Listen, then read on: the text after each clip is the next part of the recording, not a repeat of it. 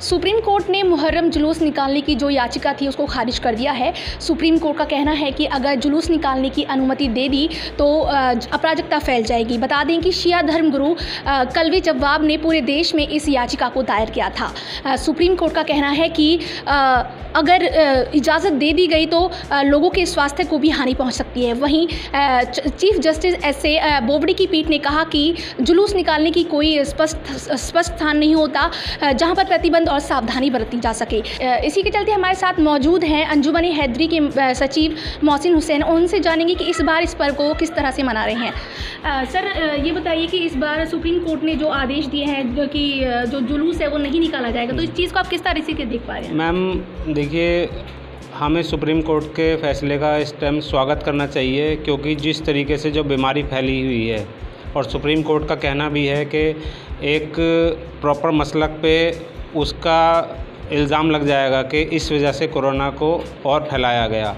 तो हमें supreme court के गाइडलाइंस को फॉलो करते हुए उसी तरीके से जो जो गवर्नमेंट की गाइडलाइंस हैं उस तरीके से मुहर्रमदारी करनी चाहिए, चाहे वो पाँच आदमियों के बैठने की इजाज़त हो या ताज़िए पाँच आदमी के ले जाने की इजाज़त हो। उसी तरीके से सोशल डिस्टेंसिंग के साथ उस पर्व को अंजाम देना चाहिए। तो ये जो पर्व है कि इसका क्यों मनाया जाता है ये पर्व? ये मैम चौदह सन इकसठ हिजरी में हज़रत इमाम हुसैन, जो कि मोहम्मद साहब के नवासे, हज़रत इमाम हुसैन सलाम को करबला में, उनके बहत्तर, इकहत्तर साथियों के साथ करबला में तीन दिन भूखा प्यासा रखकर शहीद कर दिए गए तो उनकी याद में ये मुहर्रम मनाया जाता है। इस बार आप ये पर्व किस तरीके से मना रहे हैं? मैम इस तरीके इस बार बस ये लगा लीजिए एक रस्म अदायगी हो रही है। क्योंकि ना तो गवर्नमेंट का कोई भी इस तरीके का ऑर्डर है। हम पाँच लोग प्रोग्राम ऑर्गेनाइज़ करते हैं, जिस, जो ऑनलाइन ही चलता है। पाँच छः लोग प्रोग्राम में होते हैं, वो अपना पूरा मास्क और सैनिटाइज़र का इस्तेमाल करके, उन्हें सोशल डिस्टेंसिंग के साथ बैठा के पाँच छः लोग और ऑनलाइन मजलिस का ऑर्गेनाइज़ करते हैं और उसके बाद अपना प्रोग्राम को अंजाम देते हैं। ये मुसलसल जो दस बारह दिन जो चलेगा मुहर्रम का तो इसमें ये इसी तरीके से हम लोगों ने प्लान किया है कि इसी तरीके से अंजाम देना है। हाँ जी इससे पहले अब तक इस पर्व को कैसे मनाते आ रहे थे आप?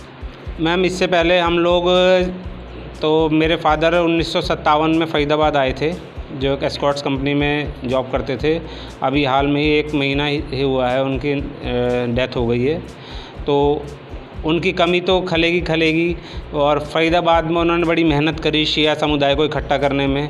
और घर घर जाके लोगों को बुलाया जाता था और हमारे दो कमरों के घर में वो मुहर्रमदारी का अंजाम दिया जाता था। जी। तो मैम, इससे पहले हम जुलूस और अलम और ताज़िया निकाल के मुहर्रमदारी करते थे। और इस साल जो चौदह सौ इकतालीस चौदह सौ बयालीस साल से मुसलसल चला आ रहा है कि पूरे वर्ल्ड में शिया समुदाय मनाता है। लेकिन इस साल ना तो वो जुलूस हैं ना अलम है ना ताज़िया है। बस एक मजलिस जो भी ऑर्गेनाइज हो रही है ऑनलाइन वो उसी तरीके से ऑनलाइन तरीके से ही मजलिस को अंजाम दिया जा रहा है। जी। सर हर पर्व की अपनी खासियत होती है तो इस पर्व की क्या खासियत है? मैम दरअसल हमारे लिए ये साल का सबसे ये लगा लीजिए सवा दो महीने हमारे शोक के महीने होते हैं जो कि हम गम मना के करते इसको अंजाम देते हैं। ना तो हमारे घर के मतलब घर में कोई शादी त्यौहार कोई किसी तरीके का कोई प्रोग्राम कोई खुशी नहीं होती।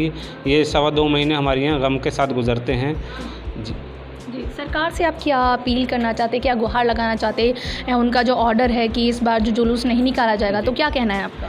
मैम सरकार से बस ये है कि सरकार भी थोड़ा सा हम लोगों को देखते हुए भी कि अगर थोड़ा बहुत अगर कुछ ऊपर नीचे हो जाता है तो उसको देखते हुए कि चलो कोई बात नहीं, वो ख़ुद उनसे पालन करवाए। अगर कहीं कोई किसी से मिस्टेक होती है या कोई अगर दो चार लोग ज़्यादा खड़े हो जाते हैं तो उनसे आके बदतमीज़ी ना करे तो उनको प्यार से समझा के उन्हें बता दे, उन्हें समझा दे कि ये गाइडलाइंस हैं, उसके तरीके से आप फॉलो कीजिए तो कोई परेशानी नहीं है।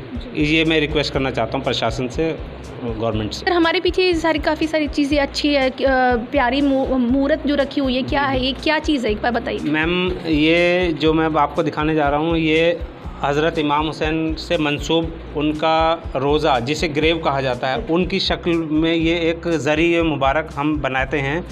और ये वही चीज़ है ये समझ लीजिए कि ये उनके नाम से मंसूब है और ये हमारा पवित्र स्थल है।